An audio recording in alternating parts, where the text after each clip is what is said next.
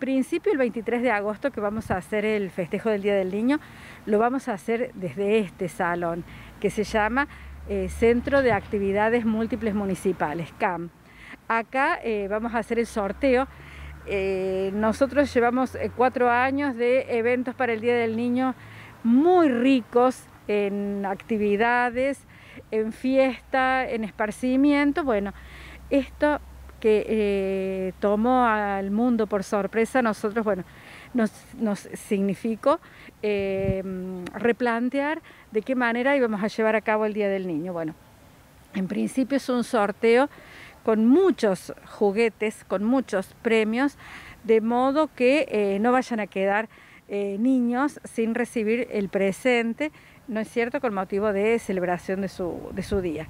Lo vamos a llevar a cabo el 23 de agosto, tratando de ir en forma este, a tono, tratando de ir a tono, bueno, con las medidas que en el contexto general se van adoptando en relación, bueno, a la prevención, ¿no es cierto?, y todas las medidas de bioseguridad relacionadas con el COVID-19.